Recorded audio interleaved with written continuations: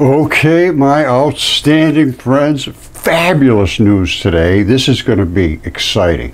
If you got kids or anybody that thinks they want to be a physicist or likes physics or any of this kind of science stuff, get them now and watch this video because this is going to blow you away.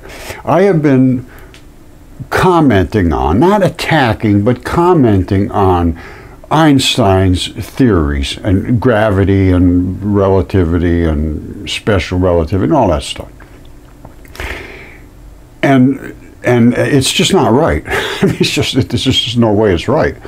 the speed of light varies all over the place, and everything that they're saying now totally dis goes against Einstein, but they're trying to prop him up somehow. Well, they, he just didn't understand that way back in the time it was this way and now it's this way. And they're, they're tweaking in, but they realize they're wrong.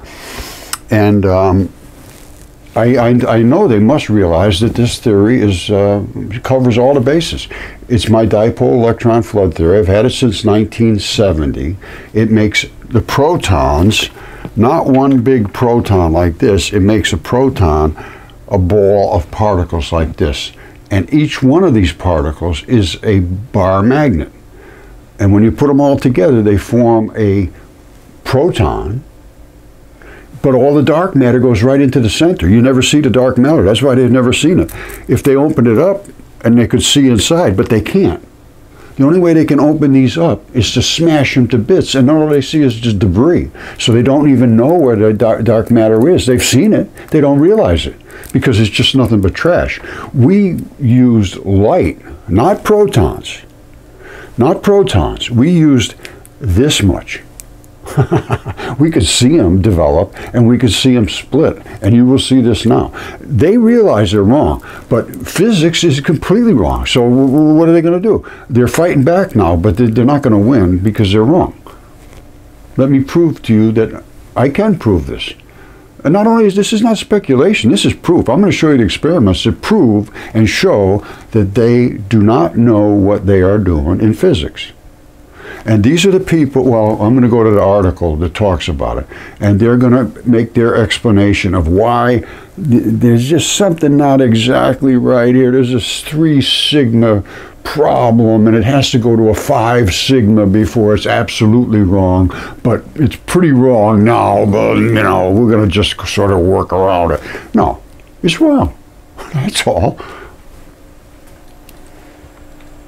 Okay, academia the way it is, they won't allow me to post anywhere, anywhere in academia. So I put it up here on this academia.edu. This is an independent place where academics can post things and they, they won't let you post. So I got like 45 papers up there because nobody let me post anywhere. So I'm coming up here to look at this. You see all this about my stuff and this pops up. Ancient lava tubes, lava tubes they're calling these, reveal hidden clues to life beyond Earth. Well, everybody that's from Basel University understands what lava tubes are, and we will certainly discuss these.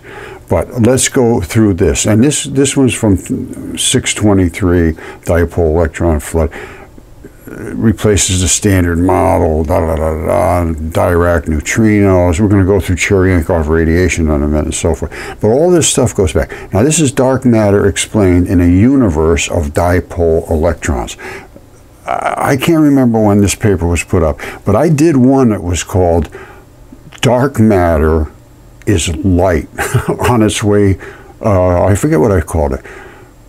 Dark Matter is Light something like that. Let's see, let me look at this here. All right, so I pop up here to look at dark matter explained in a universe of dipoles, and somebody's reading my Jesus chemistry paper. I got like 45 papers up on here. So um, the problem is they, they won't let me post in any journal, so nobody ever sees my stuff. You know, well, I, I actually got about I got a pretty good following up there, but not like uh, not like it should be. All right, this goes back to 2016. I'm saying light is dark energy and gravity, and it's it's well here's what i say. I say light leaves the sun as energy. Light is energy. It's coming towards us as energy. It arrives at the earth as energy. Boom it's dark energy while it's in transit. It's dark energy. You can't see it because it's not hitting anything. That's all. It's as simple as that. It's moving through space here and whatever's in front of it it, it hits. Now if there's not many particles in front of it it's not going to hit anything maybe if it hits something, it's going to slow it down, but it's not going to stop it. It's going to push through that field, and that's why the light literally slows down as it comes to us, and we get all these different spectrum of light hitting us. Because some of it slows down, some of it's not emitted emitted from the sun at the same velocity. Really, light has no no speed limit, and I and I even say this in here. I say, "Sorry, Einstein." And all the rest are, are wrong about light. They're all wrong about it. it because they don't understand dipole electron flood theory, which is this. Light is a piece of a photon. They know that. They smash them all to bits and they get all these flashes of light and they woo, but they have no idea where they came from because they're just bits and pieces of, of debris. We started right down here with this one black and one white. Well, actually two blacks and two whites in the photon, but then it split, and we got Cherenkov radiation, which they're going to be talking about right now. So get your kids, get anybody who wants to be a physicist or a chemist or any involvement in any science whatsoever. If you don't understand what matter is made of, and they don't, they have no idea, don't know what gravity is all about, they don't know what dark matter is about. Every day is, oh, we just figured this out, figured this out, figured. No, they didn't. It's every day it's some new little gimmick so they can get some funding. That's what's going on. This is 10 years ago or more, I had this and I showed this to all the labs, even the ones that are going to be talking about University of Geneva over at CERN, Fermilab, all of them. I showed it to every one of them. And all it was, it was about funding because this was not expensive enough, basically. That's, that's my feeling. I could be wrong, but I don't think so. all right. All I can say is, wow. I went back to look at this video I did eight years ago light as dark light is dark energy really and gravity is discussed and it's i uh, i got kind of I, I, I, went after academia in this one. This is eight years ago. I, have been fighting academia for 50, well, since I was a kid, but for 15 years I had all kinds of evidence, and they destroyed me. When I It was after this one that everything shut down on me. And I think it's because of my original statements I was going to tear science down. Speaking of tearing things down, see, I told you my chimney was destroyed. Well, they're going to be working on it. They're going all over the place. They got all kinds of things going on. They're tearing my chimney down, putting a new one in today. You know, and the truth is, for the last 15 years, or at least 15 years, I've been so consumed with trying to make this stuff understood that I let everything go. But anyway, this is eight years ago, and I have like a ton of stuff up on academia.edu that explain all these things. I think I might have already shown you that. So anyway, this is this is just about my physics of the uh, atomic dipoles, and this is dark matter because it's part of the dipole, and the Bohr model replaced by electron flood theory, which is all dipoles, and then a discussion about it, and um, there's no such thing as neutrons basically. Uh, anyway, and light slows down, light speeds up. There is no such thing as a, a, vacuum in space. Space is saturated with particles, number one. Number two, it's saturated with fields because anything that has mass has a field surrounding it. And that's Einstein's gravity well. All it is is this is attraction to the dark matter. It's as simple as that. It's a gravity. It's gravity. It's, it's hard to believe that it's just nothing. It's, it's, it, this gravity well thing is absolutely nothing. It means absolutely zero. All it is is this that the dark matter attracts the white matter. That's the gravity well. That's your gravity well right there, is the dark matter. Now, when you split this into all kinds of pieces, you get little bar, tiny little bar magnets, and you get photons. And I've shown those too. So if you want to download this white paper, it talks about these are the only two particles that exist the white electron neutrino and the dark muon neutrino and these create the cherenkov radiation that they're going to be talking about and we did we created it all day long. And here it is right here. These are the gluons but this is the part right here. The black particle attaches to the electron. We always thought the electron was just a negative really powerful little bugger but no. It's attached to the dark matter and then when you take two of these back to back, exactly like, I mean, identical to bar magnets, no difference whatsoever. And a bar magnet, if you push it through against other bar magnets, it will oppose it or it will attract it one way or the other. But they will, in, in, the case of a photon, it will always oppose every other field that it encounters because the fields surround the particles. They're not just nowhere. They're surrounded, so this field has to bump into it. It makes everything glow. I have all this, all this, absolutely 100% factual, documented from 10 years ago.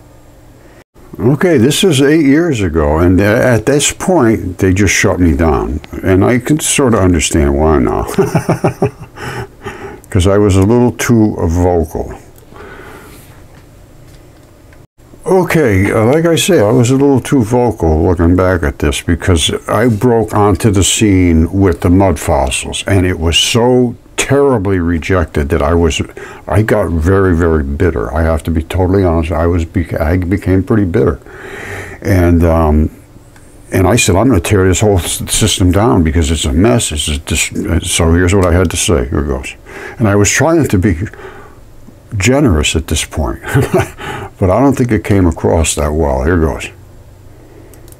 All right, in order for you to understand the theory of mud fossils and that everything is literally alive, I have to tear down science and, and Einstein and um, Hawking and all these guys. Because, and they're all wrong. They're totally 100% wrong. Einstein was wrong. Hawking is wrong. Not a word is correct. And I'm going to show you the evidence that I have. And, you know, I don't mean to put anybody down, but it's just a fact.